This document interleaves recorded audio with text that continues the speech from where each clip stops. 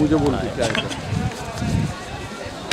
Today's official umpire is Pravin sir and Digambar.